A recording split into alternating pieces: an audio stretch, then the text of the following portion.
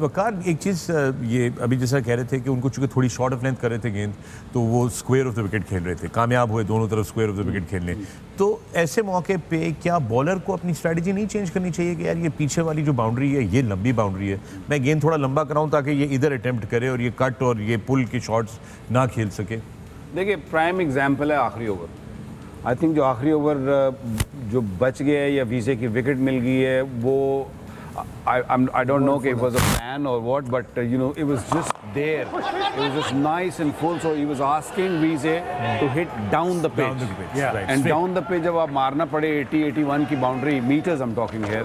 That means it is hard. It's hard to clear. Even Vize जैसा बंदा जो who, who hits it long way, he couldn't clear that boundary. Even West Indies batsmen जो बहुत बड़े hitter हैं, ये देखें, ये किसी भी और दुनिया के ground में ये probably 20 कुर्सियाँ पीछे पड़ा होता है, ठीक है ना?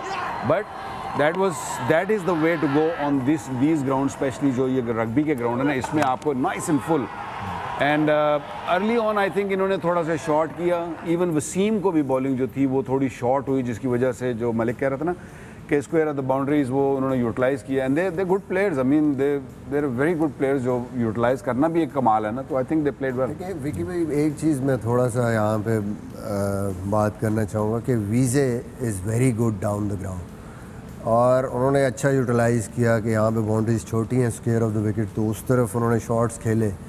अब मुझे लगता है कि आखिरी दो तीन ओवर्स में कहीं ना कहीं ही should have just gone back to his strength जैसे वसीम भाई बात हम कर रहे थे ना कि वो नॉर्मली अगर छक्का मारता तो वो 90 मीटर का मारता तो वहाँ पे कई बॉलें ऐसी थी जो फुलर थी bowler did the right thing लेकिन उसको सामने छक्का लग सकता था but he was only ready for that shot जहाँ पे थोड़ा सा रन जो है उससे पिछले ओवर में ना उनको 18 रन मिल गए थे। तो समटाइम आप फिर जब मैच जीतने जाते हैं ना and then you start thinking like that कि अच्छा मैं यहाँ दुक्का कर लूँ या सिंगल कर लूँ तो आप कई दफ़ा वो बॉल और मिल जाता है आप हाँ?